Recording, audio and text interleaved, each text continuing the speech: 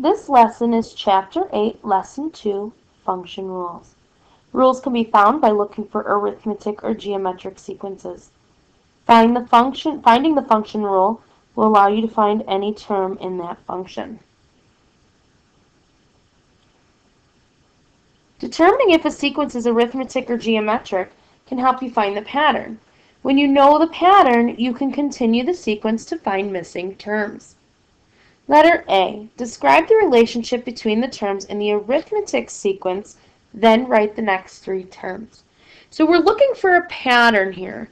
7, 14, 21, 28. Do you notice any sort of pattern?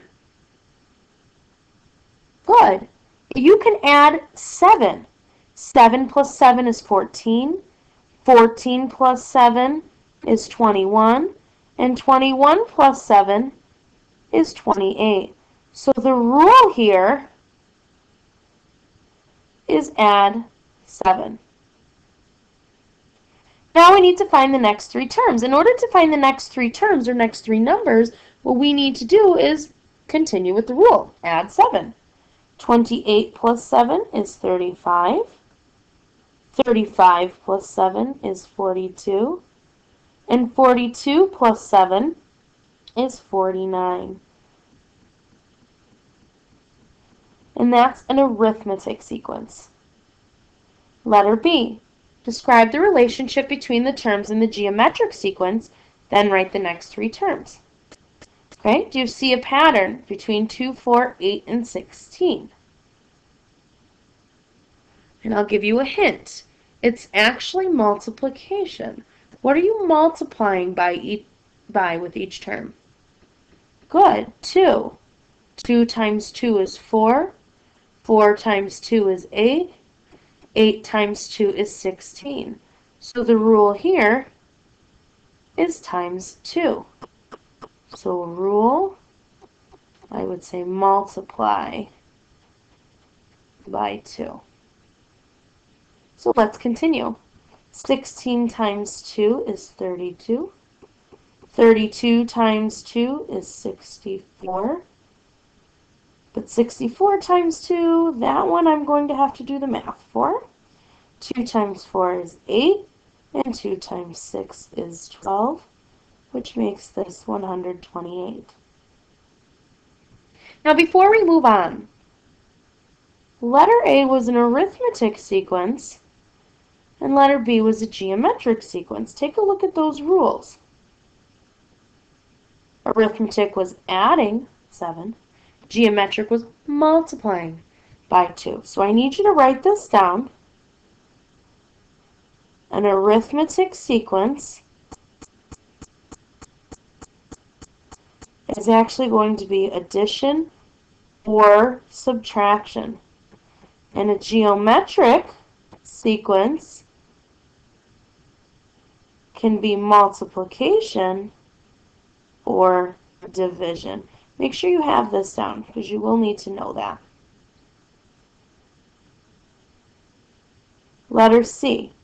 Describe the relationship between the terms in the sequence and then determine the type of sequence. Lastly, find the next three terms. Alright, so find the pattern. 0, 15, 30, 45. What are you doing to get from e from the preceding term to the next term? Good, you're adding 15. 0 plus 15 is 15. 15 plus 15 is 30. And 30 plus 15 is 45. So the rule is add 15. Because we are adding a number, is this arithmetic or geometric? Look back at the note you jotted down. Good, it's arithmetic.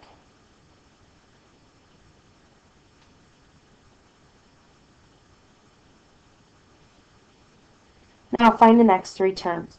45 plus 15 is 60, plus 15 is 75, plus 15 is 90. Letter D.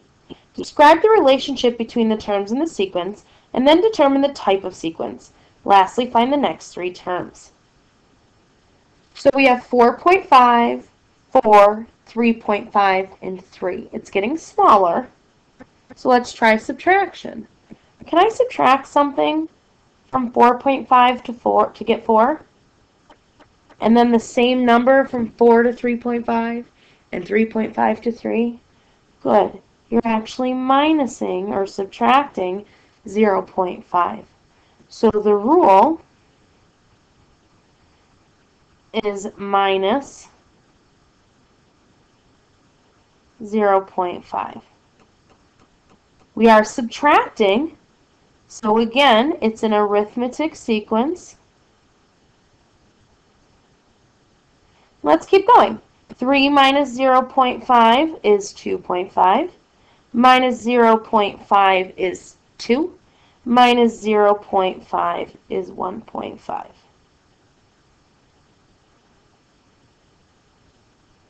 Letter E. Describe the relationship between the terms in the sequence and then determine the type of sequence. Lastly, find the next three terms. So how do I get from 1 to 3 to 9 to 27? Good. We're actually multiplying by 3. 1 times 3 is 3, 3 times 3 is 9, and 9 times 3 is 27. So the rule here is multiply by 3, which makes it a geometric sequence because we're multiplying. So let's find the next three terms. Well, I don't know what 27 times 3 is. 3 times 7 is 21. 3 times 2 is 6, plus 2 is 8. So 81. And then again, 81 times 3. 3 times 1 is 3. 3 times 8 is 24. So 243. And then 243 times 3. 3 times 3 is 9. 3 times 4 is 12. And 3 times 2 is 6. Plus 1 is 7, which makes the last number 729. Letter F. Describe the relationship between the terms in the sequence and then the determine the type of sequence. Lastly, find the next three terms. So find the pattern between 3, 6, 12, and 24. Good. We're multiplying this time by 2. 3 times 6 is, or 3 times 2 is 6.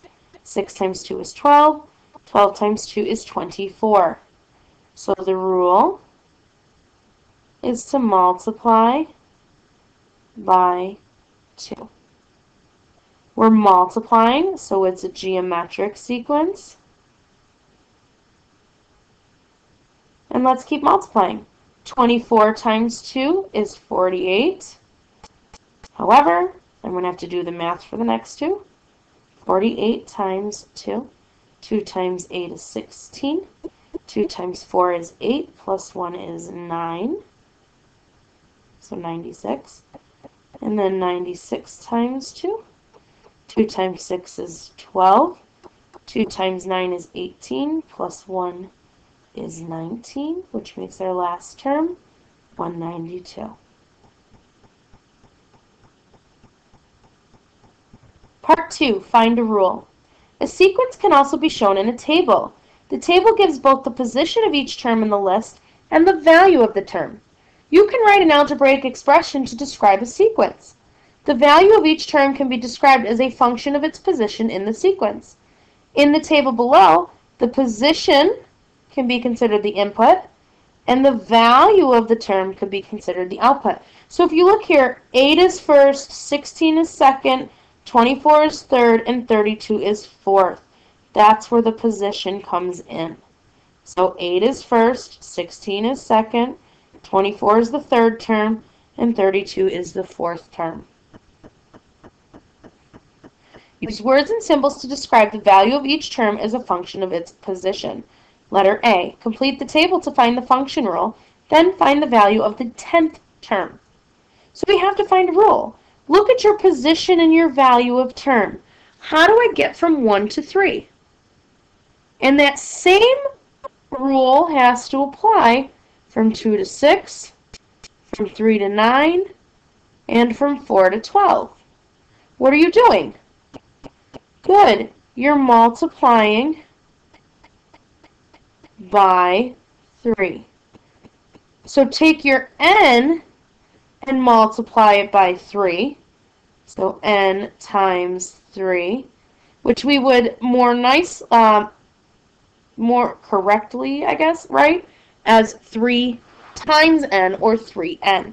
That's the rule. You're just finding the pattern.